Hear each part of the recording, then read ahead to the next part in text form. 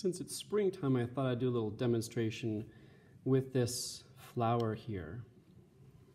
And flowers are beginning to, to you know, pop up um, because it's being springtime and everything. But what I'm going to do is I'm going to change the color of that flower and I'm going to add to it some flower power. So I'm going to bring my flower back in here. There it is. And I'm going to spray and I'm going to water my flower.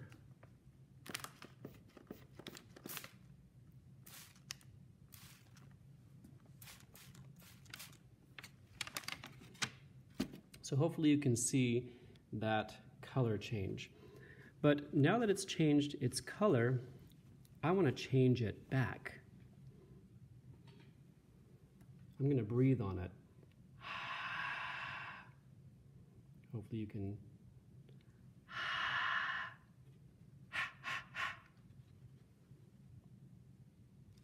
Okay, I changed the color. There's still a little bit left there, but I can change it back if I wanted to. And put more in there. Or I can again breathe on it.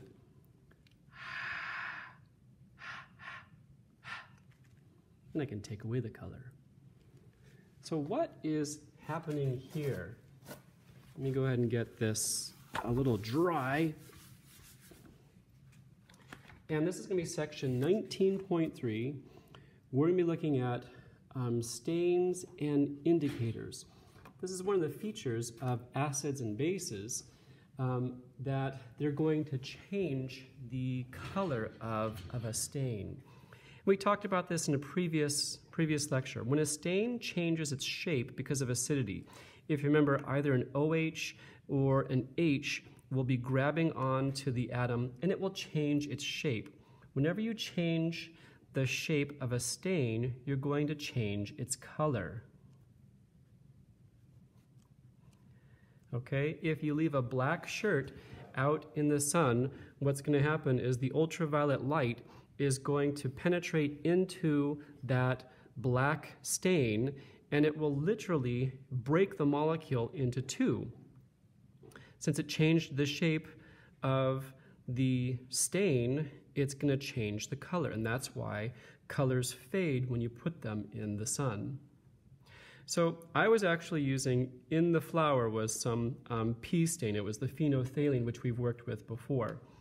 And here's the range that the pH stain um, works. I'm going to draw um, uh, a line here. And here's the pH scale going from 0 going up to 14. Right in the middle is 7. And the pea stain activity is within a very special range. And it's in a range from about 8 to about 12. If it has a pH of less than 8, between 0 and 8, okay, this range over here is going to be clear. So if it's between 0 and 8, it's going to be clear. If it's greater than 12, this will also be clear as well.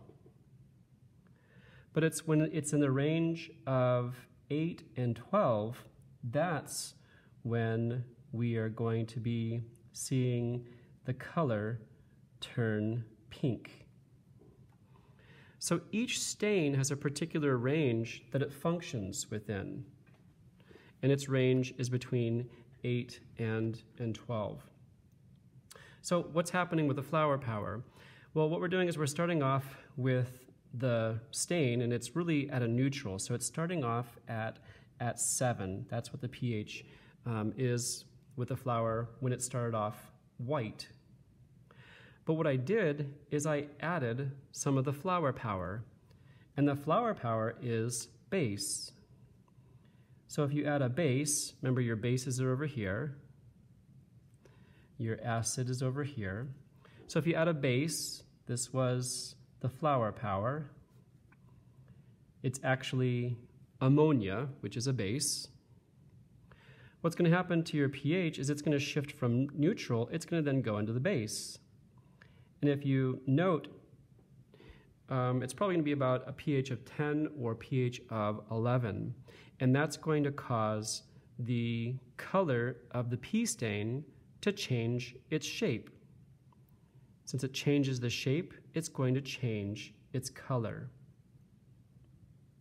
But why did breathing on it make it go invisible again? Why did it make it go back to clear?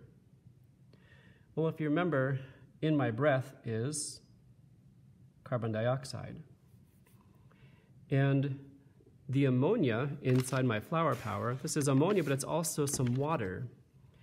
And so if I take my carbon dioxide breath and if I breathe it on some water, this is like the bromothymol blue, the BTB blue. Okay, it, it changes its color. Why? Because CO2 plus H2O produces H2CO3. This is carbonic acid.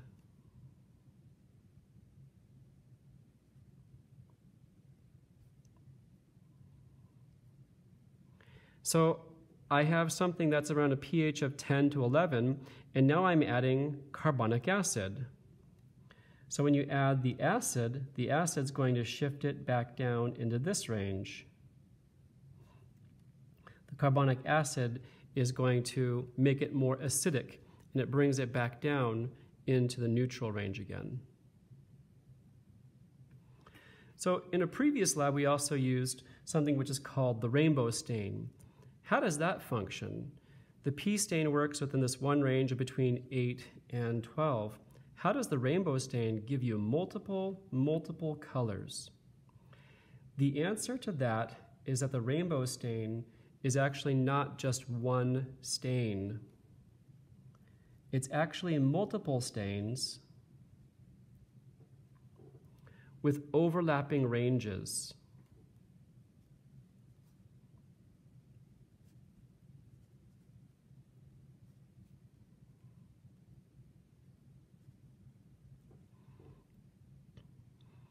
So the range for the P stain was between 8 and 12. Here is its range from here to here. Well, I'm going to um, come up with some numbers. Um, these are some of the colors that we saw with the pea stain. We saw a red, a yellow, a green, a blue, and um, a purple. Imagine that, that these stains exist the red plus the yellow plus the green plus the blue plus the purple they all add up to the rainbow stain. Okay, so these add up to make the rainbow stain. Let's say my red stain functions between a pH of 0 and 4. Remember, the rainbow stain has multiple stains. Here's one, two, three, four, five different stains, but they have overlapping ranges. Let's say the yellow has is functional and its range is between a pH of 3 and a pH of 7. Let's say the green stain functions and has its range, like the P stain, between 6 and 8 Let's say the range for the blue stain is going to be between um, 6 and 13.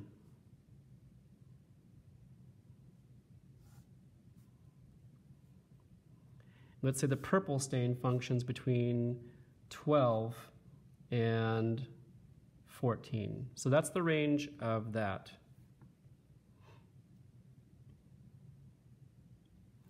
So if my material, let's say I was measuring my vinegar, which has an, about a pH of 2, what color or what stains would be active at pH of 2? We have just the red. Well, let's say it was a pH of 3. What stain or stains then would be activated? Well, if it's 3, 3 fits in between 0 and 4, so the red stain will be activated. But now that we're a pH of 3, we're on the lower end of the range for yellow, so the yellow will also be activated. What will happen with red stain plus yellow stain? It will equal an orange. Let's take a look at a pH of 5. At a pH of 5, will the red be activated? No, we've left its range. Will the yellow be activated? Yes, because it's between 3 and 7. Will the green be activated? No, because we haven't reached 6 yet. So at a pH of 5, it'll be yellow. So each of these overlapping stains has the ability to create a rainbow effect depending upon your pH.